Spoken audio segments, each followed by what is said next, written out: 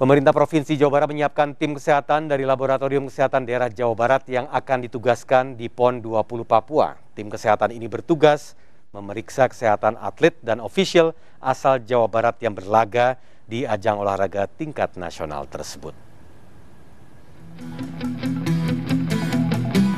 Digelar di tengah pandemi COVID-19, setiap atlet maupun ofisial yang berlaga di PON ke-20 Papua memiliki resiko terpapar virus corona. Hal ini membuat Pemprov Jawa Barat ikut menugaskan tim kesehatan dari Labkesda Jabar ke PON Papua.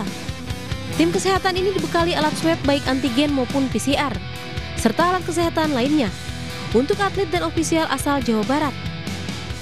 Kami punya Labkesda yang standby di sana, sehingga uh, verifikasi-verifikasinya lebih akurat, uh, karena hanya punya tim kesehatan sendiri yang punya uh, tim PCR di sana. Mudah-mudahan tidak banyak ya, sehingga di sisa waktu kita sehat lahir batin.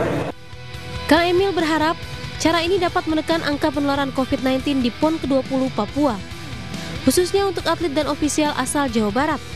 Dari Bandung, Jawa Barat, Diki Wismara, iNews melaporkan.